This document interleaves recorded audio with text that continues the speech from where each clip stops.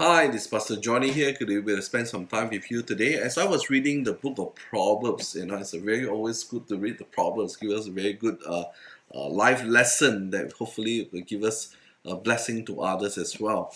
Now, just last couple of weeks, you know, I realized that sometimes, especially working in the church, uh, the usage of word is very important. How are we using our words to encourage people? Are we using words to discourage people? Sometimes. Uh, it can go a long way. Yeah, you may may not know. Words does damage to people. Words sometimes hurt people. Uh, but in the same way, words also can use to encourage people and lift their spirit up.